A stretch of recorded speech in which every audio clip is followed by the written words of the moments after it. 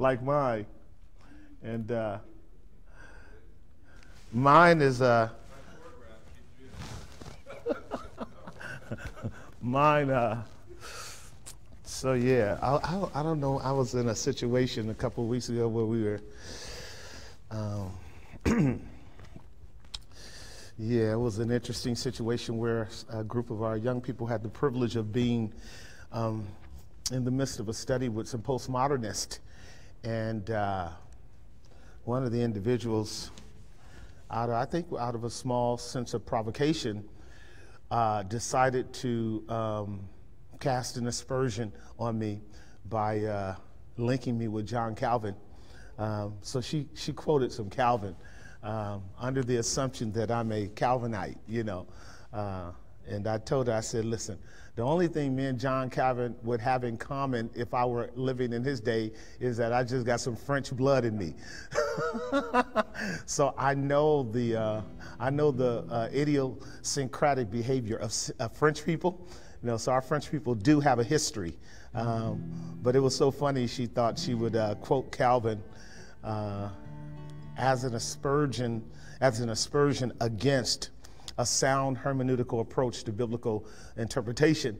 And I, I just laughed. I said, you know, if I were walking down the street in the days of John Calvin, he wouldn't have paid me two cents because I was too dark.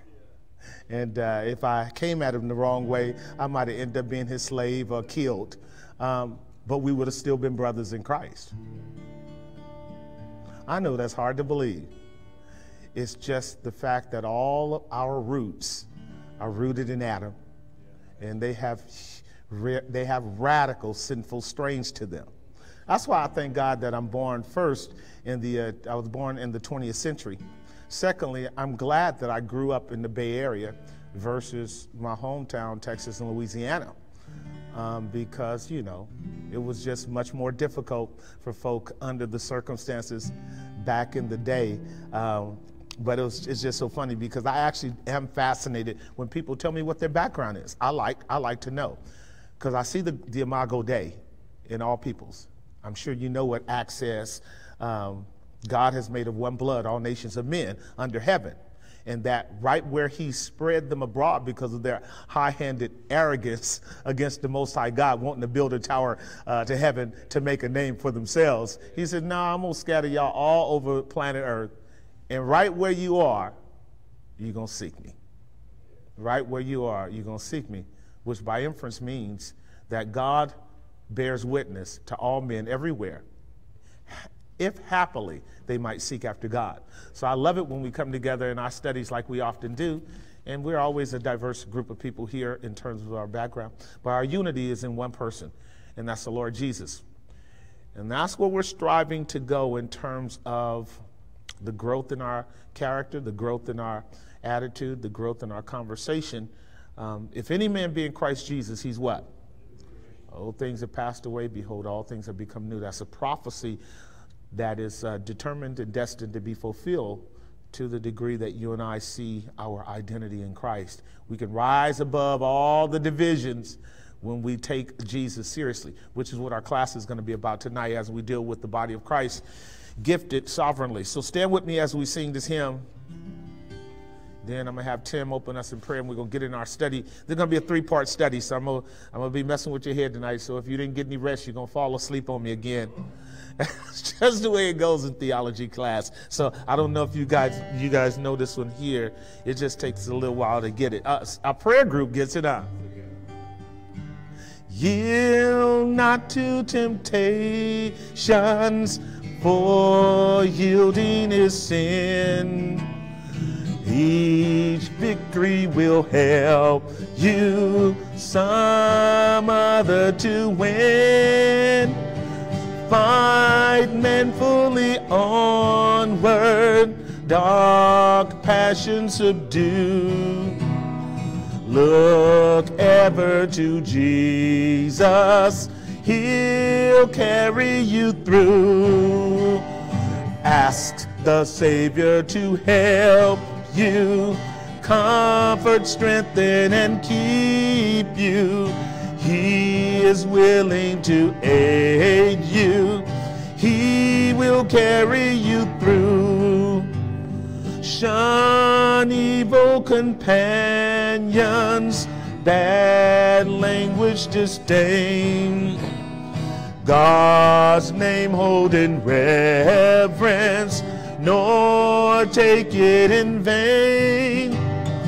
Be thoughtful and earnest, kind hearted and true. Look ever to Jesus, He'll carry you through. Just ask the Savior to help you, comfort, strengthen, and keep you. He is willing to aid you. He will carry you through. To him that o'ercometh, God giveth a crown. Through faith we will conquer, though often cast down. He who is our Savior, our strength will renew. Look ever to Jesus, He'll carry you through. Ask the Savior to help you, comfort, strengthen, and keep you. Is willing to aid you. He will carry you through. Chorus one more time. Ask the Savior to help you, comfort, strengthen, and keep you. He is willing to aid you. He will carry you through. You guys believe that? All right, open us in prayer, Tim.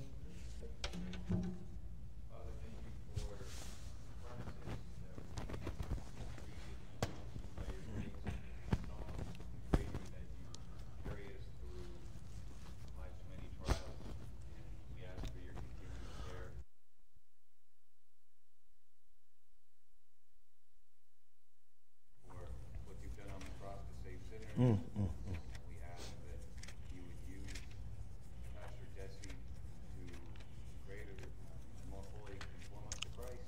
Please give us the grace to be attentive. Please give him words. We recognize that you are sovereign and you give gifts to your people. And we ask that you use this message to help all of us to be more eager and more zealous to use our gifts for your glory and for each other. In Jesus' name, amen. You guys can be seated. Pop your Bibles open to 1 Corinthians chapter 12.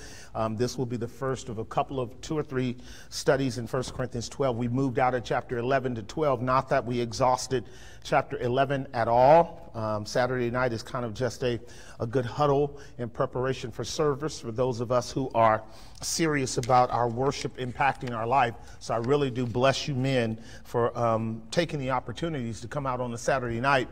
Um, I'll encourage you to do something though. If you decide to come out on Saturday nights, go somewhere and take a nap before you come into class. Don't don't be full of activities all during the day and then run up into class and expect you know your body to kind of submit to you so that your attention span can be as full as possible. if you mitigate against preparation for the study, it's not going to work. If you are full of a day's activity and you don't get 30 minutes of a power nap or an hour nap, it's not going to work. The Holy Spirit is not going to overcome the food in your body or the drain of the day, and you'll lose the benefit. Um, and that's just a strategy that's good at any time. I tell people if you're going to really benefit from the Word of God, you got to prepare before you come.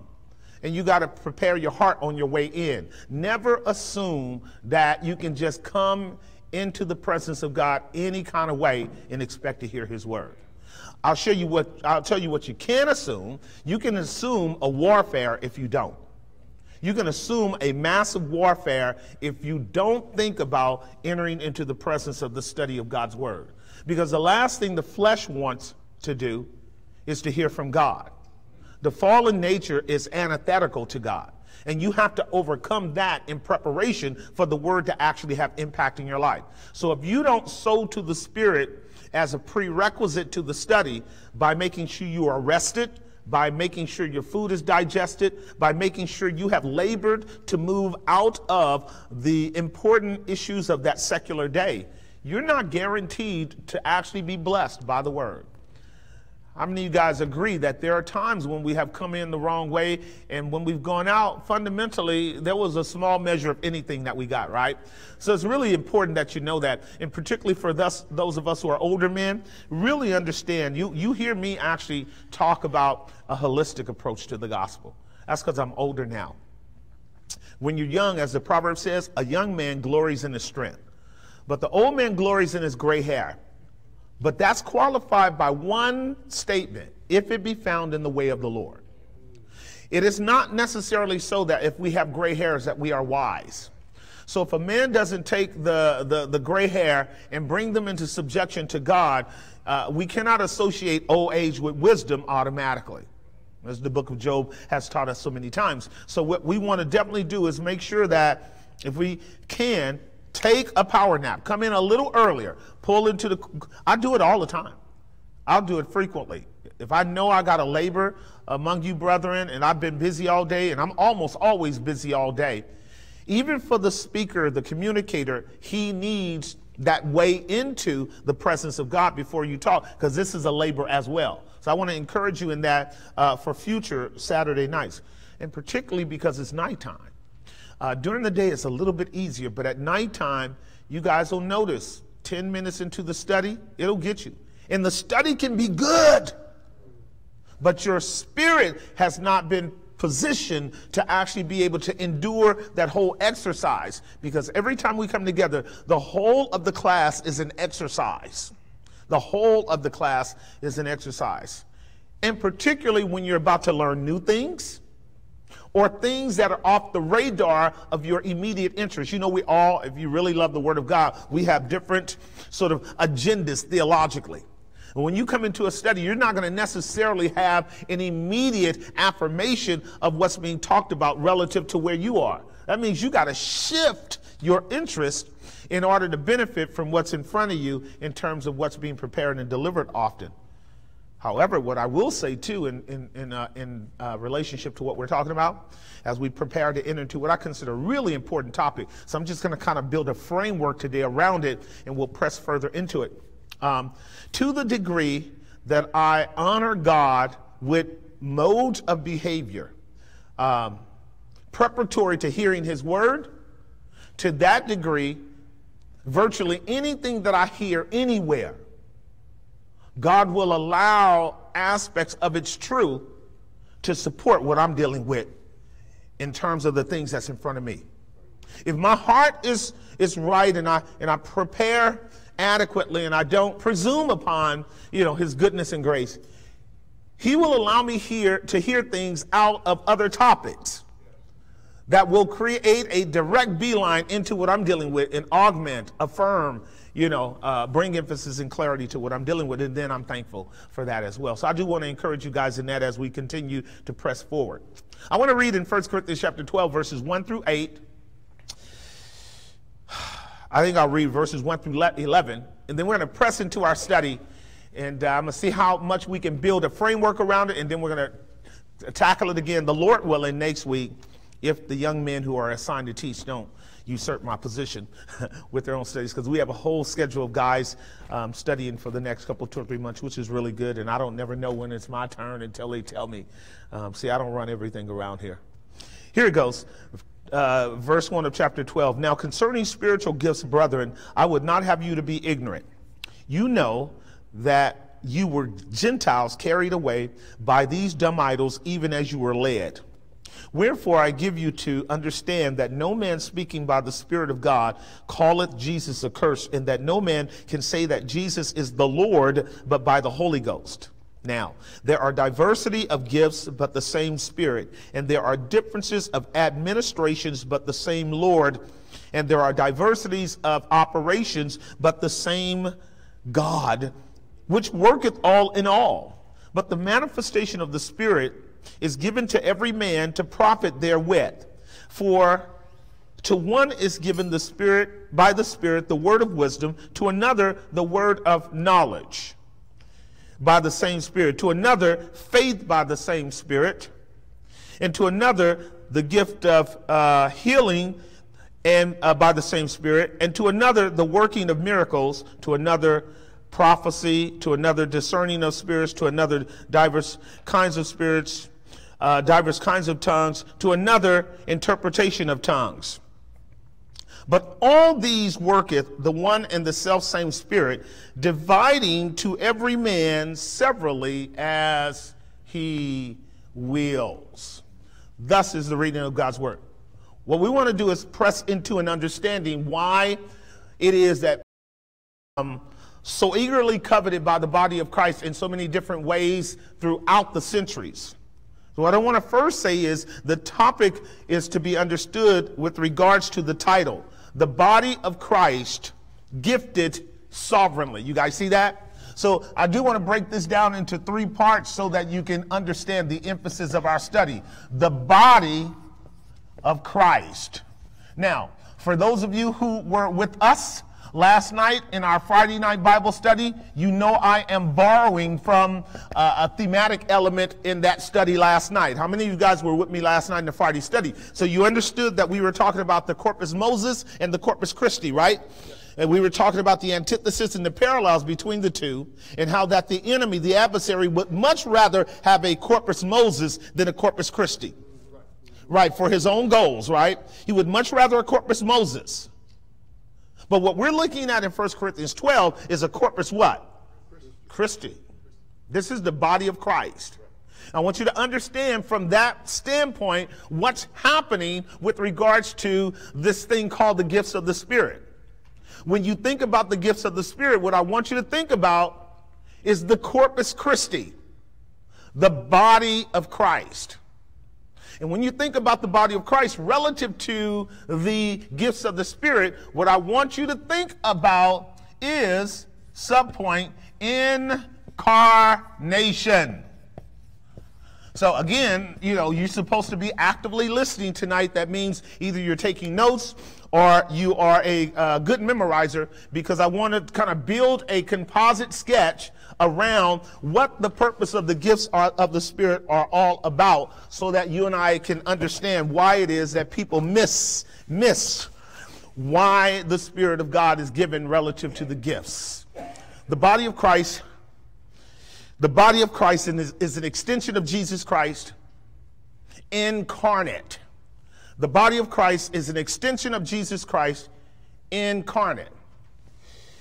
That means that the body of Christ, being an extension of Christ, functions in the world the same way Christ did in his obedience to his Father as the revelation of the invisible God bodily.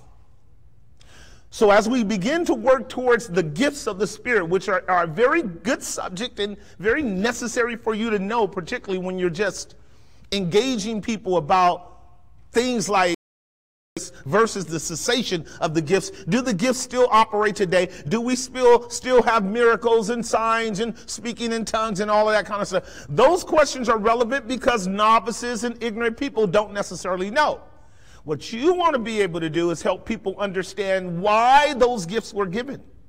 Not just that they were, or how they were or how they should be functioned or used, but why they are given. So the first thing I want you to think in your head is this. If in fact the body of Christ is the Corpus Christi, then it means that there is a unity between the head and the body that affords the body all of the virtues and the qualities and the benefits of the head. If in fact the body of Christ is the body of Christ, by extension, the incarnation of the invisible God in the person of Jesus of Nazareth. The very reason there is a Corpus Christi is that we would continue the work that the Son of God did when he was on the earth. Does that make sense? The very reason for which there is a body, do not, do not from Christ. To do so is to create a monstrosity, and it's also to kill the body on the spot, okay? You're immediately killing the body. And now you can abuse that body that's dead. But once you view the body as connected to the head, then as much as we might understand and know who the head is, then we can understand how the body works. Does that make sense? All right, then, so the first category of thought that I want you to be able to comprehend as we study is the body of Christ. A critical doctrine of truth. Is that right? Do we believe in the incarnation? Is the incarnation essential to every saving revelation of God? Right. And so you're going to see as we open up our verses that the incarnation is really the issue that Paul is dealing with relative to the Corinthians being duped by their co to believe that Jesus came in the flesh. Okay, I'm going to show you that as we work through it. You're going to be dealing with a polemic. But what I do want you to understand is that if we did not believe in the incarnation, we couldn't believe in ourselves. We could not claim 2 Corinthians 5:17. If any man be in Christ Jesus, he's a new creature. We could not uh, claim Galatians 2:20. I have been crucified with Christ. Nevertheless, I live. Yet not I, but Christ lives in me. In the life that I live in the flesh, I live by the faithfulness of the Son of God who loved me and gave himself for me. We couldn't claim that. We can't claim Philippians chapter 1, 20 and 21. For me to live as Christ, should die as gain. You guys hear what I'm getting at? So if we deny the incarnation of Christ, we deny our own regeneration and renewal an expression of union with the Father through the Son by the Holy Ghost. And so that's critical to understand as we're getting ready to talk about the gifts. We're unique body in the world that is called by God and qualified by God to do something that only that body can do. No other body in the world can do what the body of Christ can do. No other body in the world can do what the body of Christ can do. No other person in the world could do what Messiah did.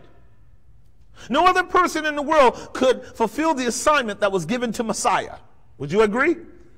No other person. And Messiah was a unique species of theanthropos, God man. He was the unique species of humanity. That is, he was a second and last Adam of a unique capacity, bar, you know, par none, no one equal to him as a man. Is that right?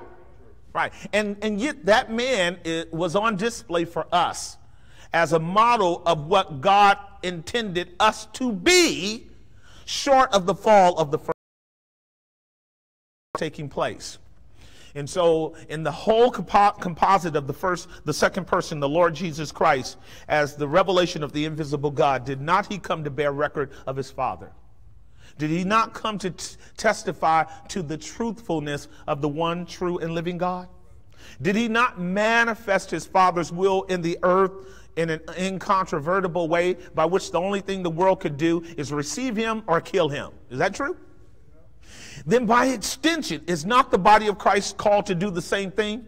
Manifest the Father's will in relationship to the Son by the power of the Spirit with all of the qualities a unique body doing things in the world that no other body can do. If y'all with me, raise your hand right quick. I just need you to understand where we're about to go. Otherwise, you will fail to benefit from and be blessed by what we call, and I am going to press home, tell you guys get it, the Corpus Christi the Corpus Christi. So the body of Christ gifted sovereignly is to be in, understood in terms of the uh, incarnation because it's the body of Christ. But the second thing that I want you to understand now as we get into our text is the term gifted. Gifted. Please understand that. Was Christ a charismatic? Yes. Was Christ a charismatic? He was the most charismatic man in the world. All right, so what I'm going to do now is demolish the prejudice we might have against the term charisma. Charismata. Because what we're dealing with right now is the charismata. Okay? And when I say, was Christ charismatic, I am simply saying, was he not filled with the Spirit? Without measure. So, for those of you who understand theology, for John to state that Christ was filled with the Spirit without measure is another way to call him deity. There's no other human being could be filled with the Spirit without measure. We are finite creatures, incapable of capacitating the fullness of the Spirit of God as did the Son. So the Son was the epitome, he was the echelon of a charismatic believer in the Father. be able to tap into. So as we deal with 1 Corinthians chapter 12 verses 1 through 8 tonight, the body of Christ, the Corpus Christi, the incarnation doctrine is critical to our salvation. If Christ didn't come in the flesh, our sins have not been paid for, we're under a delusion. If the incarnation of the Son of God didn't triumph in terms of our redemption and salvation, we really don't have any union with God at all because our sins have still separated us from, from God. So that we would simply be talking kind of gobbledygook according to 1 Corinthians chapter 15 when we say that we believe on the Lord Jesus. If Christ didn't rise from the dead, we are yet in our sins and our faith is in vain, right? So, what we're really talking about does have a lot to do with who we are and what our destiny is as well. So, when I say the body of Christ gifted, I am talking about not only Christ, but every believer. Is every believer gifted? Is every believer truly charismatic? Every believer is truly charismatic. You can't be saved if you're not gifted with the Spirit of God. Do you guys understand what I just stated? It's very important for you to get this and on a lot of levels. So, right now, with our class, maybe one or two of you are apprehensive by that proposition, and that's because you are viewing yourself from the standpoint of your single memberedness and not from the totality of the body of which this text must press us into. It is true that all by ourselves we are nothing. But when we understand ourselves as being part of the Corpus Christi, that changes the whole dynamic. Are you guys following what I'm saying?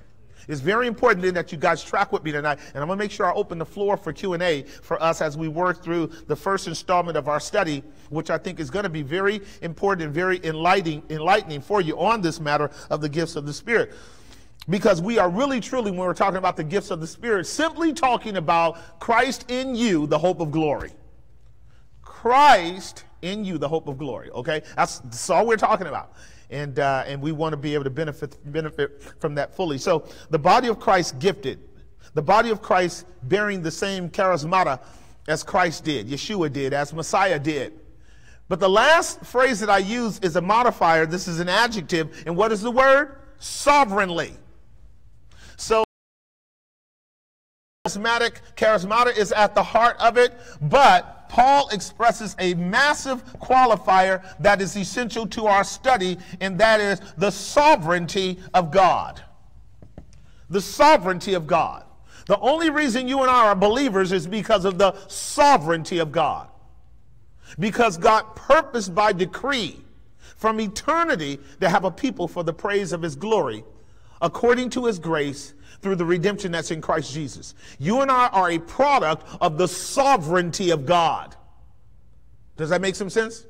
What that also means then, as we press into the study, is that not only are you not your own, but God selected and chose you specifically to be part of the body of Christ in the manner in which He wanted, and He has given you gifts that are specific to His own purpose to be operated in your life in order that the glory of God might be manifested through the corporate efforts and edification of the body. So you and I are believers by the sovereignty of God. We are charismatic by the sovereignty of God, and we are called to manifest the incarnation of the glorious triune God in the same way Christ did. All right? Uh, a little bit more crystal clear focus. So Paul opens up with a statement that he frequently does. It's in verse 1, part A. Now, concerning spiritual gifts, do you see the little word gift there, you guys? That's not in the original. That's an italicized there is not the same as in verse 4 and verse 9 and verse 31. There's no word in the Greek there. It literally is now as pertaining to spiritual things. Now, as to pertaining to spiritual things. So remove the word gift for a moment because he doesn't want us to actually deal with the gifts. He wants us to deal with the character and nature of the Spirit. He doesn't want us to deal with the gifts, and they're not synonymous. The gifts proceed from the Spirit, but the Spirit and the gift are two different things, okay? He wants us to talk about spiritual things because that's what he has been having a problem with this church. Because uh, it's important for you to you guys to capture it. In romans chapter 1 notice what it says in verse 13 romans chapter 1 verse 13 actually no don't go there. Just back up to 1 corinthians chapter 10 and i'll make it that quick because i do want to uh, economize my time tonight. Couple things that you might know and you guys probably know this when you study your bibles that paul frequently uses the term brethren i would not have you to be ignorant Brethren, I would not have you to be ignorant. What that means is, Paul could look out over the landscape of the church and realize that people were either inadequately informed about the grace of God that's in their life or negligible to that very grace that was given to them. Inadequately informed or either way, the outcome is ignorance. If I am inadequately informed, I'm ignorant. If I am negligible, that is, I, if I ignore studying and pressing into Christ at the level of my salvation, I'm going to be ignorant too. Like, did we learn anything thus far tonight? Of course we did. So we're already being brought into a more pristine focus as to the nature of the body of Christ. This may help you in your walk, and in fact, that's what it's designed to do. And so what Paul says is, I would not have you ignorant, brethren. And here's how he uses that term in verse 1 of chapter 10. Moreover, brethren, I would not that you should be what? How that our fathers passed through the sea and were all baptized into Moses in the cloud and in the sea. And of chapter 10 is a warning, is it not? About the blessings that they had received under Moses. This is what I am calling the corpus Moses. Why? Because Moses had brought Israel out of Egypt under the instruction of now is they're crossing the Red Sea. And what is he calling the Red Sea? A baptism. So what's happening? They are moving from no people in Egypt into a new people in God under Moses. They're being brought from nothing to a relationship with Jehovah through God's law. Law of God, the same as being baptized into Moses. Do you guys see that? So now we have, according to 1 Corinthians chapter 10, an expression of the corpus Moses.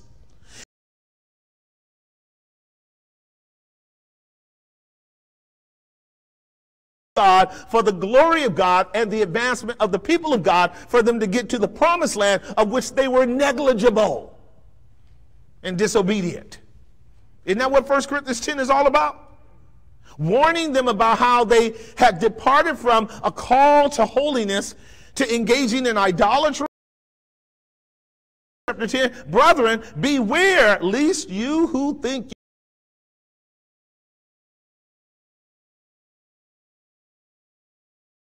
manifestation of God, you could imagine for a nation, still they didn't take the gospel seriously. Am I making some sense? when you and I think about national Israel and how God entered into their life, did he not enter in sovereignly? Did he not enter in charismatically? Did he not enter in redemptively? Did he not manifest the power and glory of the crucified Christ in their life? Did he not manifest the lamb slain from the foundation of the world as the exit strategy out of Egypt? Did they not hear the gospel? Did they not see the power of the gospel manifested in Christ through Jehovah? Absolutely. They, and, and, this is why we argue with people who don't get the continuity of the gospel from Genesis to Revelation. We say it's always been the gospel.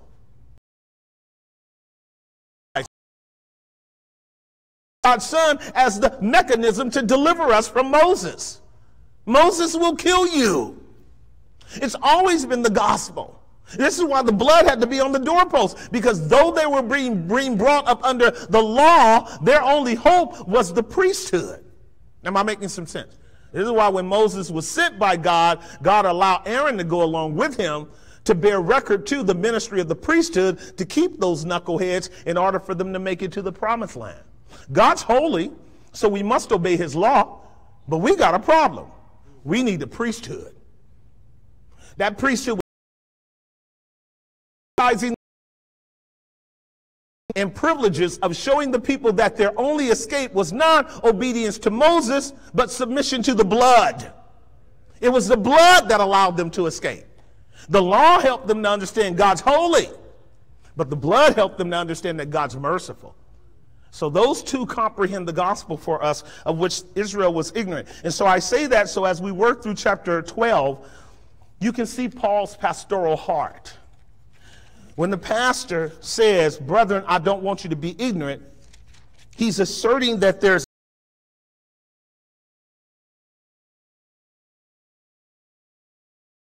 So I want to press into what that is.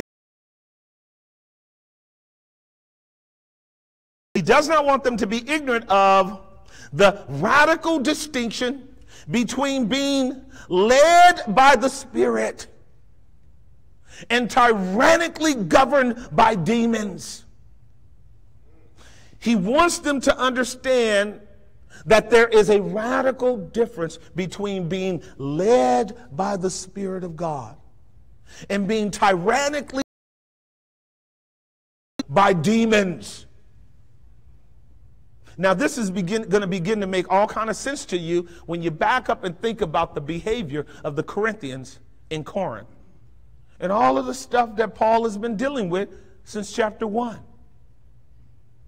Would the Spirit of God promote division in the body of Christ?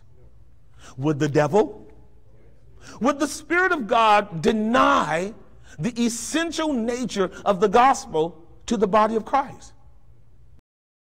Sensuousness and sexual porneia among the body of Christ? No. Would the devil? Would the Spirit of God allow for believers to indulge in and engage in idolatry, open rank idolatry against the true and the living God? The answer is what? No. But would the devil? Would the Spirit of God then, as we're dealing with now, allow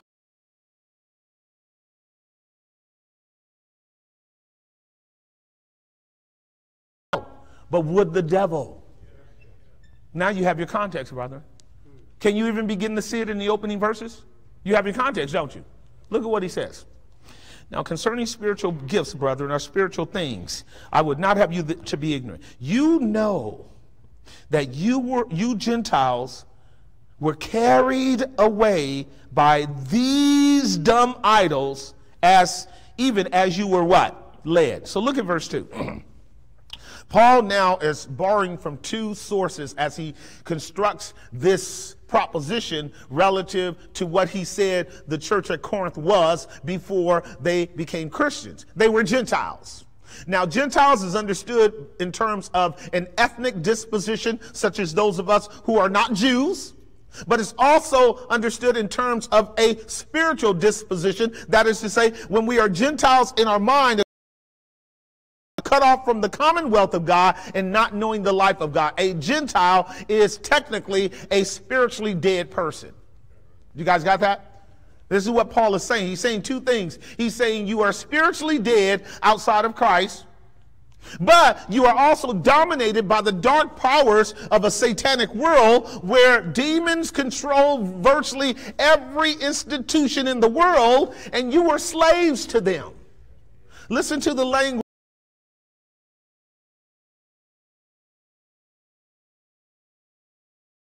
Notice it. You Gentiles were carried away. See that phrase carried away?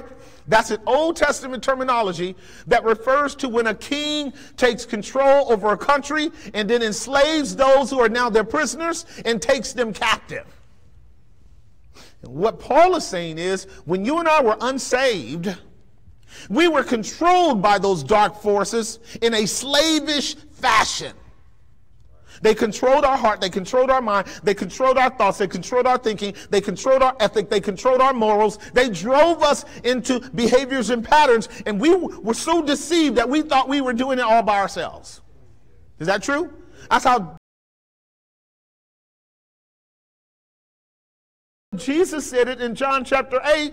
He says, Whosoever is continually practicing sin is a slave of it. Because he understood the dark power behind it as an intelligentsia with a stratagem and a methodology by which the masses of the world are kept doing what darkness calls it to do. Am I making some sense? We were all part of that. We are all part of that. And yet, you know what he calls them? Dumb idols. Now, this is the contextual side of the First Corinthians uh, study, and that is in Corinth, idol worship was everywhere because Corinth, like Ephesus, was one of those. Um, it was one of those servile towns where the Roman Empire had basically really poured in all of its presence in terms of Caesar worship and, and pagan worship and, and demonism and all sorts of things that go all the way back to the Greek culture that basically uh, transformed all of the Middle East and all of Asia and then all of Europe at that time under Alexander the Great. You guys know that 13, uh, 300 BC forward, he dominated the land, Hellenized it, and gave it over to polytheism and henotheism, uh, including worship of the king or the Caesar or the emperor, right? So the temples were all over Corinth, devoted to a false worship of a false god that basically amounted to two things. Watch this now drunken orgies and demonic mysticism. Drunken orgies and demonic mysticism. I lift that up to show you something. Helping us see.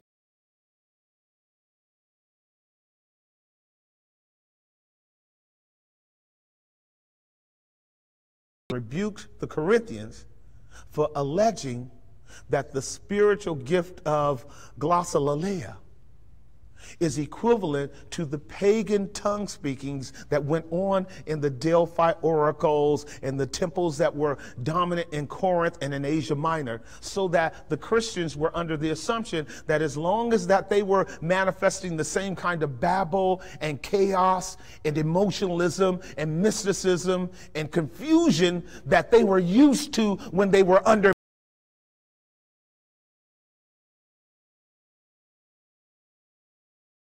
Paul is doing is saying that between what you did in those pagan temples when those demons came upon you and caused you to start writhing and moving and shaking and babbling and wallowing on the ground and, and engaging in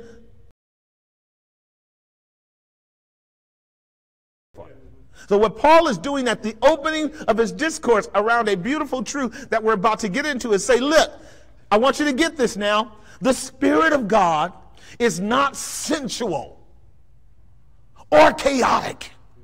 He is passionate, He is zealous, but He is not darkness nor sensuality. He never cuts the lights off, He always cuts them on. He always brings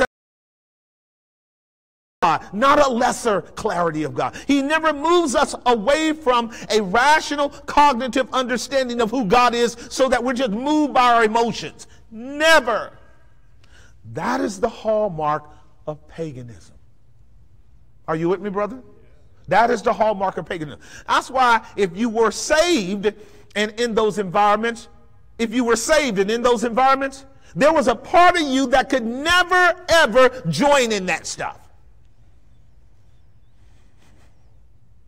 If you were actually saved. If you were actually saved. If you were elect of God, He also kept you from the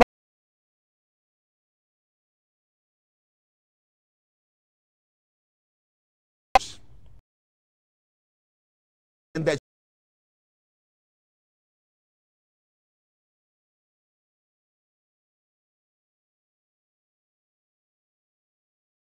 being saved.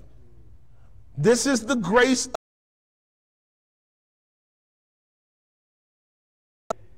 that we fundamentally become reprobate.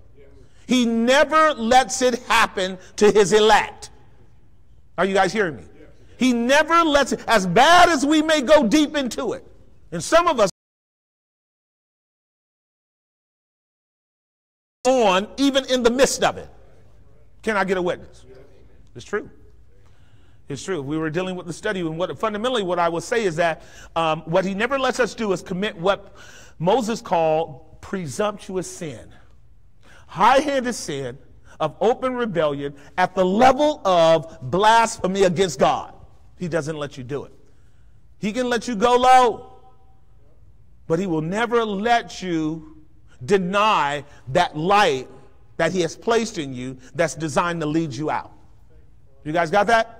This is why Paul can say in 1 Timothy chapter 2, he says, I was a blasphemer, I was a murderer, I was all this, forcing men and women. He didn't say blasphemy of the Holy Ghost, because you can blaspheme the Father, you can blaspheme the Son. He said, but he forced men and women to deny the gospel. He says, but I did it in what? Ignoe. What are you saying, Pastor? There is a blessed ignorance that God leaves all of his elect in that does not allow them to cross over into an overt, volitional, hostile, demonic type of rebellion against God for which they become reprobate. I'll leave it like that for you to think it through. I'll leave it like that. What does he do in verse 2? He says, You know that you were Gentiles carried away by these dumb idols, even as you were led. Now, watch this. From this place, he's getting ready to get into a doctrinal issue that I want you guys to comprehend. He says, Wherefore I give you to understand, which is the same thing as to not be ignorant of, that no man speaking by the Spirit of God. Do you see it? Yes. Watch this now. No man speaking by the Spirit of God calleth Jesus accursed. Look at your first point. The Spirit of God does not dishonor the Son. The Spirit of God does not dishonor the Son. You guys following me so far? The Spirit of God does not dishonor the Son. What comes out of men's mouth must be judged. And even if they say, the Spirit told me to say it, we must judge their words to Now, the only way you're going to know what they're saying is true or not is for you to know the way of the Spirit. This is why I got back to the whole point of sovereignty and making a distinction between the gifts and the person of the Spirit. If you don't know the person of the Spirit, you can attribute to the Spirit all kinds of highfalutin, crazy behavior. Am I making some sense? Here's what Paul says The Spirit of God will never occupy a believer's life and move him in a direction of calling Jesus accursed. The believer will never curse Jesus. Do you guys hear what I just stated? He will never do that. He will never do that. That's the thing that the Spirit of God will keep you from. Now let's press into what it means to call him a curse because we're so very superficial in the 21st century. We're thinking about uh, uh, curse words. Is not to say are not a problem for the believer.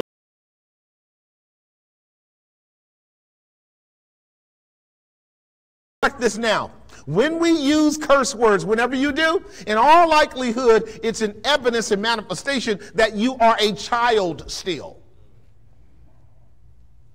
See, because children go goo goo gaga and use stupid, unintelligible words when they're trying to get across a point, particularly when they are emotionally unstable. Right? But grown people find words that are appropriate to the issue in order to set forth propositionally how they feel. Am I making some sense? So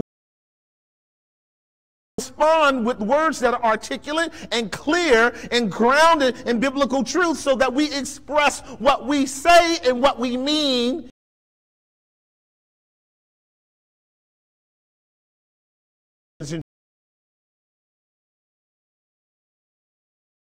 Children, right? Because they're acting like children when they're advocating and, and, and expecting people to accept that as something spiritual when nobody even knows what they're talking about. Are you hearing what I'm saying? So now stay with me now because I'm getting ready to press into why Paul is starting off by letting us know whatever you want to attribute to the Spirit, you Corinthians, do not attribute to the Spirit any form of behavior that dishonors the Son. Because the Spirit of God cannot dishonor the Son.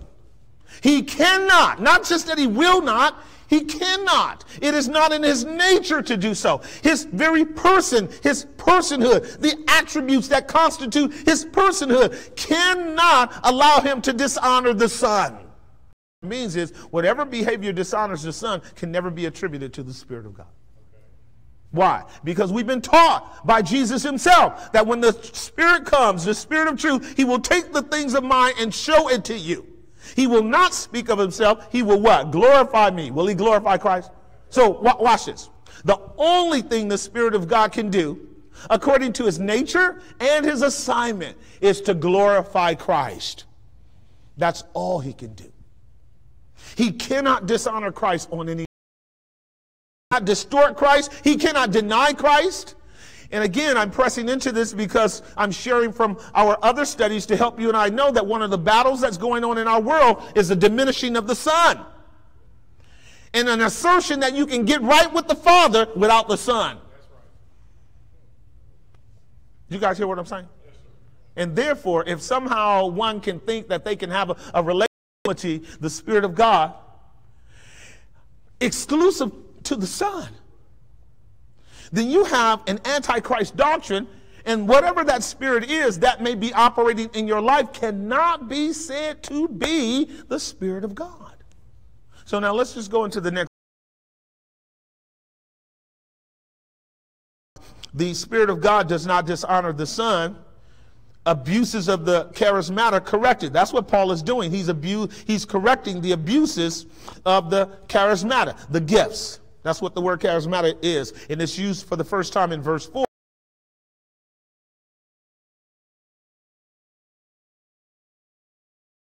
Is honoring the Son by clarifying the nature and role of the Spirit of God. Does that make sense? Watch this. So, point B. The unbeliever is tyrannically led by demons. Did we already affirm that? That's 1 John chapter 4.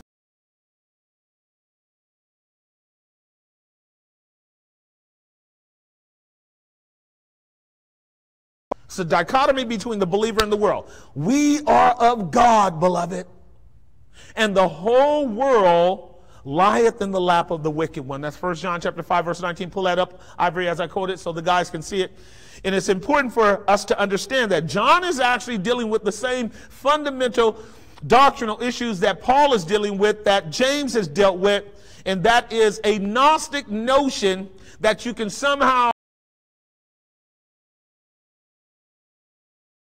denying the incarnation of the Son with all of its attendant consequences, too. Verse 20. We, we love him because, he, no, that's 1 John 5 19, sir. 1 John 5 19. You got an outline up there? Know that we are of God. Do you guys see that? The we in the first person uh, plural there, the apostle John is talking about the apostles. That's one of the things he's doing in the book of 1st and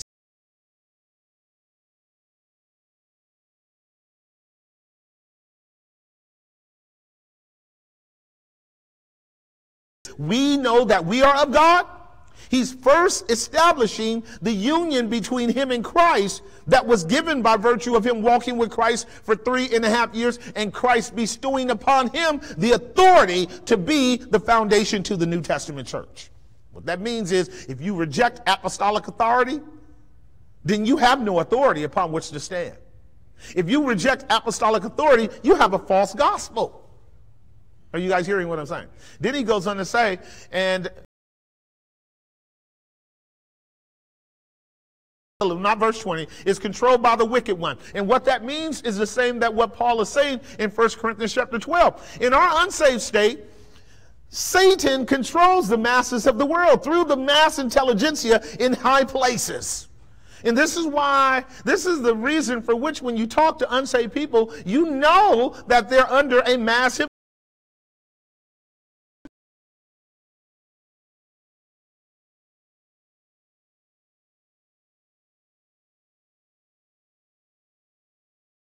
them to a level, and then at a certain point, you hit a wall.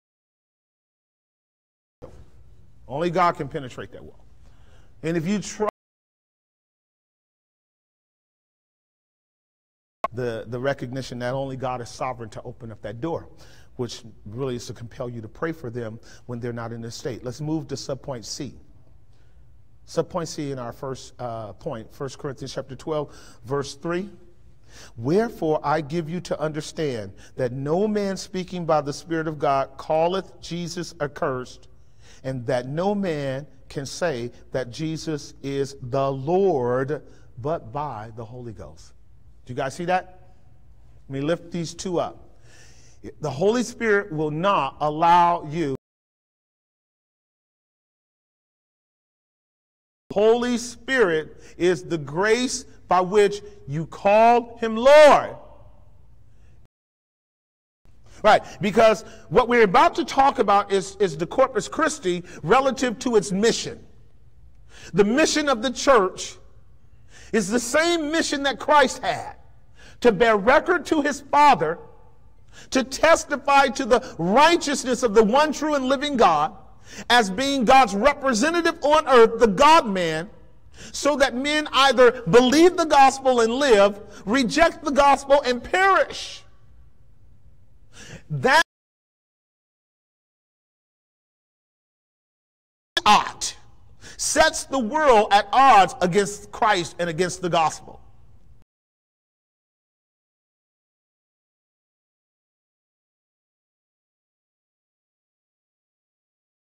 It is the way the body goes.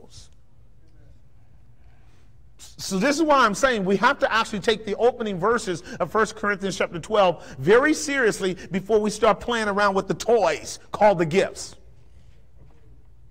The notion of playing around with the toys called the gifts that Paul says he doesn't want us to be. Because here's how this would go. It would be like this. It would be like the Corinthians saying to Paul, Paul, just assume that we're all true believers. We're, we all been baptized. We all go to church. Now, some of us got some weird ideas and, you know, we got some weird problems. The gospel's even needed at all. And I mean, you know, yeah, we may. You are in trouble as a church. Am I making some sense? You are in trouble as a church. Because God is not the author of confusion. He's not going to descend upon us the kind of operation that's manifested among you as a body politic and call it what? It's very important symbolical nature of verse 3 relative to our first point before we go into the beauties of point 2 because I just want you to appreciate once we go into the beauties of point 2 it's only after that we have come through that dark passage of polemic that Paul has to deal with. What is a polemic? It's the methodology by which you oppose something that's contrary to the truth with fury. Are exercising polemics. You are letting people know that you are seriously aware of having assessed the danger of what a person believes, letting them know you are wrong. You are in danger. That's why he says the Spirit of God does not curse Jesus out. The Spirit of God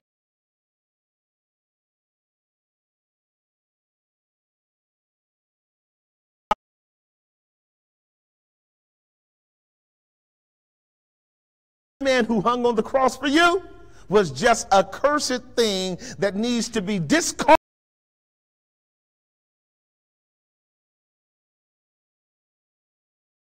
To he right on into First John chapter 4. And that is to say, the doctrine that was promulgated all over the place by the Jewish people is the reason that Jesus was crucified a crook, that he was an impostor, that he was not the real deal, and that's why he was crucified. And they would go right back to the law in Deuteronomy, which says what? Cursed is everyone that hangs on a tree. In in Corinth, which began to happen among John, and especially all the Jews who were rejecting Jesus, the cross being the grounds upon which God saves you is ludicrous. And that man that's hanging on the cross is not your Savior, he's accursed. You guys following me so far? Stay with me. Because that's exactly what is at issue with Judaism versus Christianity. Judaism does not deny that Jesus of Nazareth came into the world. It will not deny that he lived. It will not deny that he did good works. What it will deny is that the man hanging on that cross was the God man who bore the sins of his people in a proprietary way by which our sins is given to us. And they certainly do not believe that he rose again from the dead. Are you guys with me? So listen, when you hear the term, no man can by the denied the incarnation and denied the atonement. It denies the incarnation and it denies the atonement. It calls Jesus an impostor. This is why they're struggling with chapter 15, the doctrine of the what? Resurrection. Do you guys see how jacked up Corinth is? Corinth, first of all, the issue of the gospel in chapters 1, 2, and 3, which Paul lays out at length, was something that they were negotiating as not even being necessary. But what did Paul say? He says, for the Jew, the gospel is, is, is, is ridiculous. For the Gentiles who seek wisdom,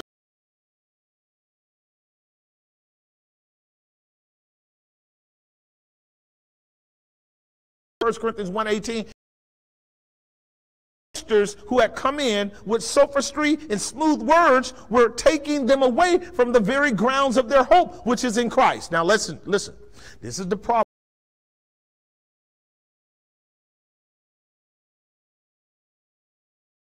A, a message in the evangelical church today. You listen to five in a row, no Christ in it at all. No Christ in it at all. You listen to 10 in a row, no Christ in it at all. Why? Because they have lost the gospel. Right, listen to me. They have lost the gospel. And it's so bad that they don't know that they've lost the gospel. They're living under in you know in our statements of faith but it doesn't have to be preached right well this is the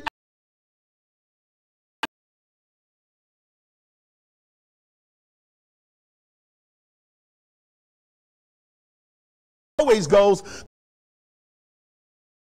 the significance of the person and work of Christ, we are as soon as Christ is not the most glorious object in your mind, you're in danger. You're in danger. Here we are in the 12th chapter from the first, and Paul is dealing with some of these folks thinking that under the inspiration of the Spirit, they could curse Christ. You see how the noetic effect of sin is working? That you can say under the Spirit of God that they can say Jesus is a curse, Jesus is a curse. The man hanging on the cross, he's not our Savior. He just was a, a Jewish impostor that came along calling himself Messiah. He's not the real deal. And is that not most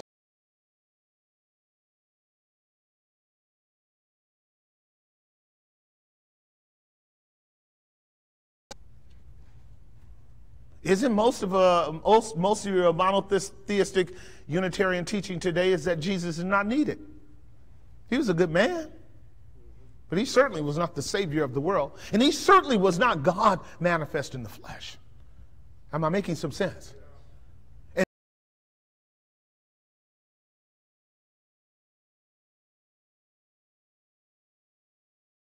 Talk like they're Christian, just like you are until you press them on the issues of the gospel. As soon as you poke them,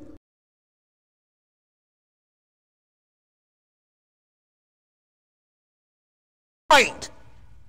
We don't believe the Bible is the inspired, inerrant, infallible Word of God. We don't believe in the Genesis narrative. We don't believe that God created the heavens and earth in six literal days and rested on the seventh day. We certainly don't believe that man was created out of the dust of the ground and God breathed into his nostrils the breath of life. No way do we believe. We believe in evolution. We believe that Moses had a way with the people of God, but Moses was not infallibly given to write the five books of Moses, the Pentateuch or the Tanakh. We don't believe that. That book is filled with errors. We believe that Jesus was born and that he was a good man, but a whole lot of what he was talking about in terms of death and resurrection and atonement and the miracles are, we don't believe none of that stuff. And we certainly don't believe the New Testament because the New Testament just locks us up to Christ alone or perish. So we just throw that out too. But they're Christian. Are you guys hearing what I'm saying? But they're Christian. And what do they do? How do you be, how are you a Christian when you got so many holes in your Bible? Humanism human justice. Work together just as we are to make our world better. They don't even believe in eternal life. They don't believe in life after death. They certainly don't believe in the judgment of God on the last day. They don't believe in any of that stuff. You guys with me? They don't believe in any of that. And most of that is making its entrails into the hearts of professing Christians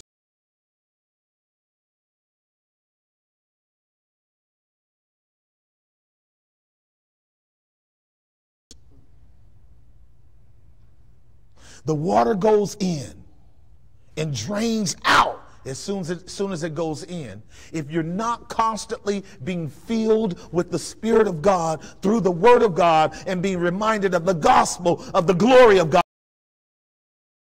your, your intellect, your spirit is shaped by the truth of the Word of God. You are constantly challenged with whether or not you believe those things.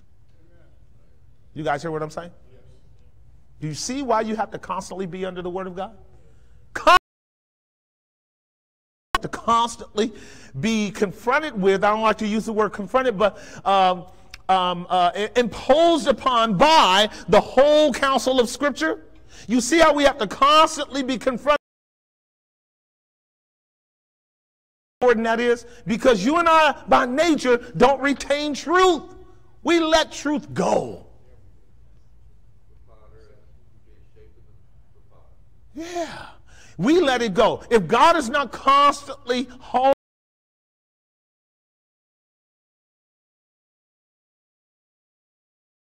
this is why the Hebrew writer had this same problem. This is why he said in Hebrews chapter 2, we ought to take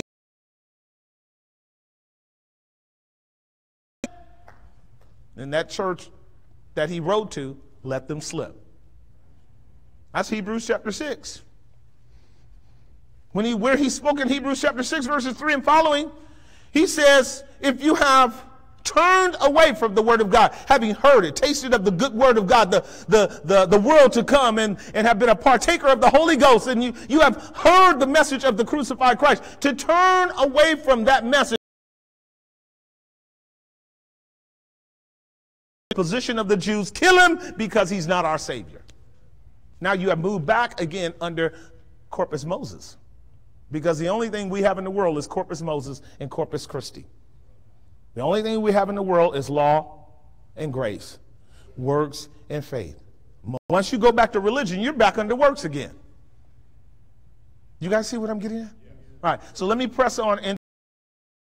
I'm gonna lay it out, and then we're gonna come back and press into it a little bit more. I'll take some Q and A for you with you guys today. So, under our first point, the Spirit of God does not dishonor the Son. Isaiah chapter 42, verse. Um, 20, I believe it is, Isaiah 42, 21 says, And he shall magnify please for his servants. Verse 21. The Lord is well pleased. The Lord here is the Father, is well pleased for his, his is the Son, righteousness' sake. He will magnify the law and make it honorable. Is that what Christ did? Did he magnify God's law? Did he make it honorable? Right. Would the Spirit then take that which the Father was pleased with and distort it or deny it? Which now moves us into the operations of the three persons relative to the gifts. See, what, uh, what Paul is about to teach us is the unity of the Godhead descending into the body politic. So, as the unity of the Father,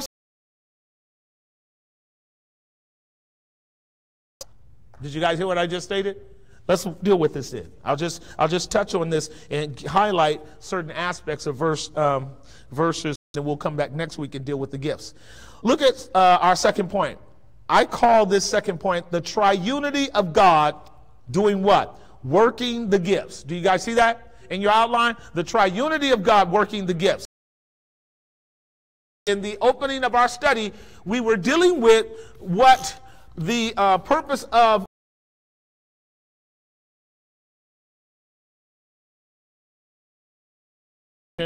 of Christ, right? To make them an extension of Christ. So this is not just about the Holy Ghost kind of flying around like Santa Claus, dropping gifts off to people as you ask for it. This is not, you know, you don't, you know how in some Right. So if a man helps you to find your spiritual gift, please understand the Holy Ghost didn't do it. All right? Because what we're going to work through now is uh, three persons relative to not only your spirituality, but your giftedness by the Spirit. And Paul is going to talk intentionally about the relationship of the three persons with regards to this whole working. To as a member of that body, it is the consequence of a and the three persons are always in agreement. Does that make sense? And if they are in agreement, ought not we to be in agreement with them? So now watch this now. Here it is. Point number two. The triunity of God working the gift.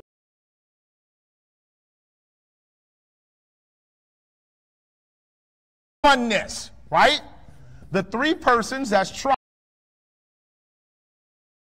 try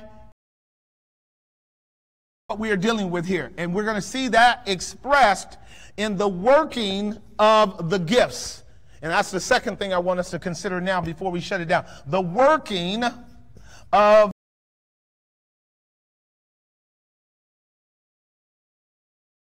Actually, well, no, I think that's in verses 4 through verse 7. Listen diversity of what? And there are differences of administration, but the same Lord. And there are diversities of operations, but it is the same God which worketh all in all. Do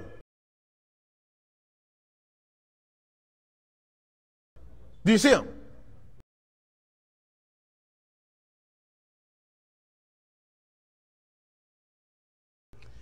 And they are inverted for only one reason.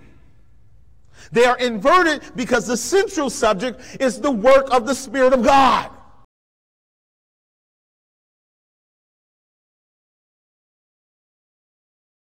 Then the Son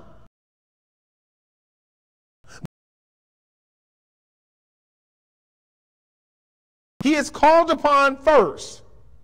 Am I making some sense? Now, as he is called upon, I want you to see the distinction between his role, the role of the second person, and the role of the first person. I want you to see the distinction because Paul wants you to see the distinction.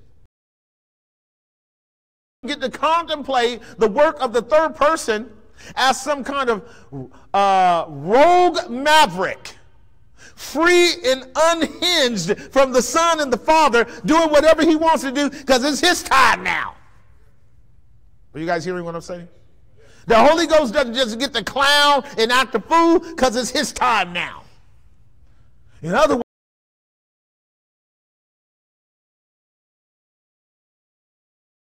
in churches.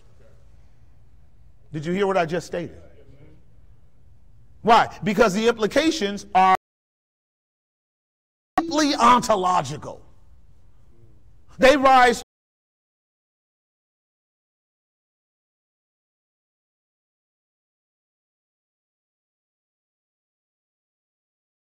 unity of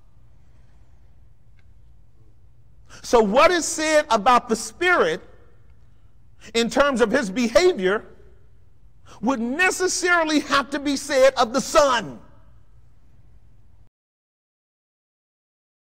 Because the three never operate disjointedly, chaotically, disharmoniously, or contradictory.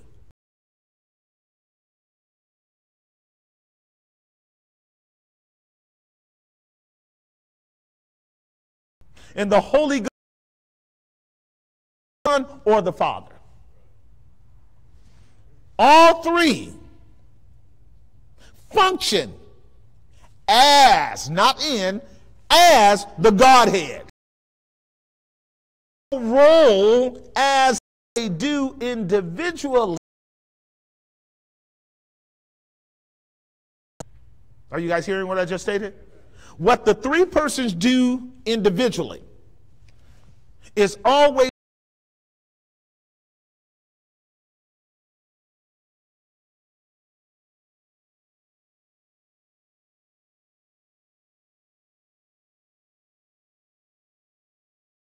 conflict between the Son and the Spirit. The Spirit will never ever function according to his own will. Neither the Son or the two against the Father.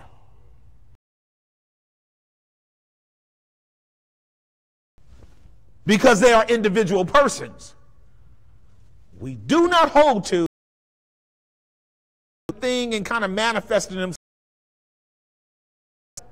That's just, that's gobbledygook. That's insanity. God's not a transformer.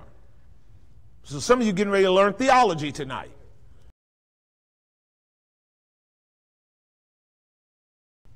Three persons. Got it? Little bit more.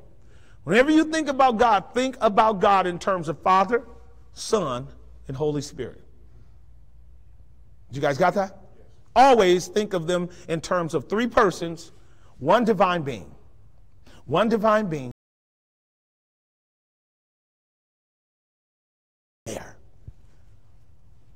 The Son and the Spirit share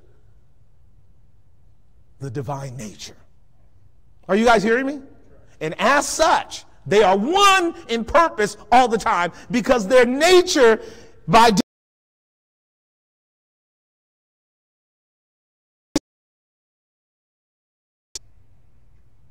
So now watch how Paul lays this out in our text in terms of how he's going to press home for us the function and working, that's why I have the word working here, of the three persons. Do you notice in verse 4 it says diversities of gifts? So the first thing that Paul calls your attention to, we are at verse 4. Now, there are diversities of gifts, and I want you to mark that first. It's in your outline, but for the sake of my brethren that are probably watching, the thing that I want you to view now is that in relationship to the third person, who is who? Who is the third person? The Spirit of God. In relationship to the third person, his role and office is the diversification of the gifts communicated to every member of the body.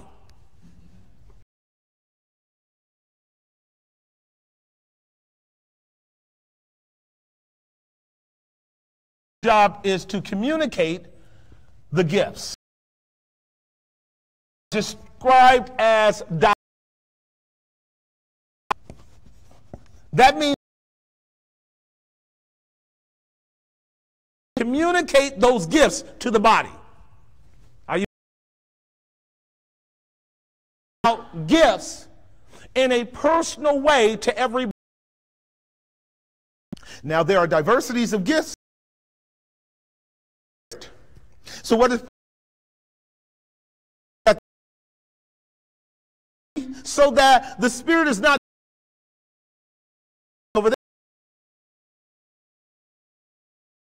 verse 5.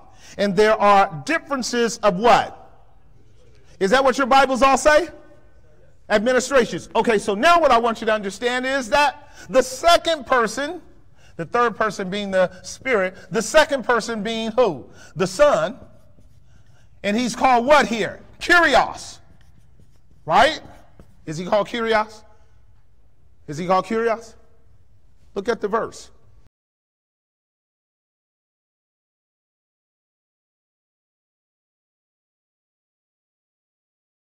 See the Father and the Son in their offices, both ontologically and in terms of how they function, there will always be a distinction.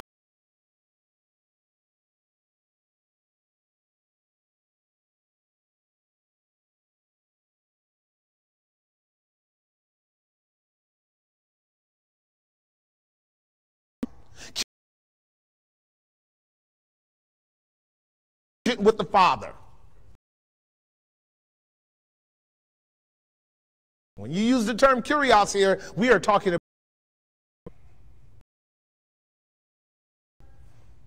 The only way you're not going to be saved is to acknowledge.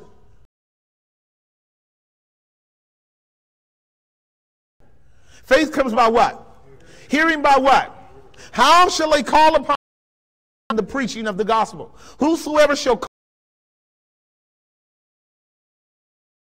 This has to be revealed to you.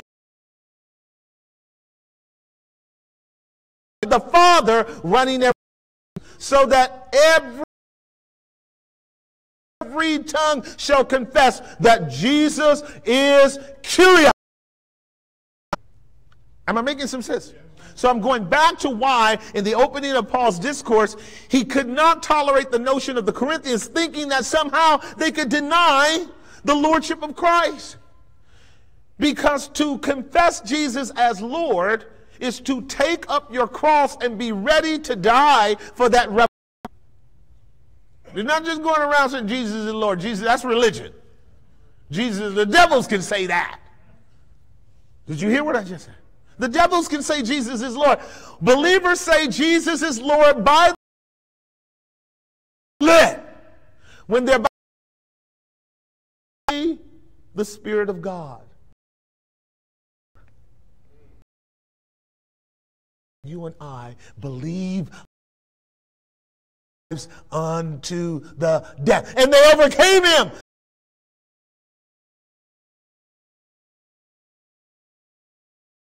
So if this is true, and we have already seen it's in your Bible. Administrate them. Second person is administration. The role of the third person is communication. Can I keep going for a minute? The role of the third person is communication.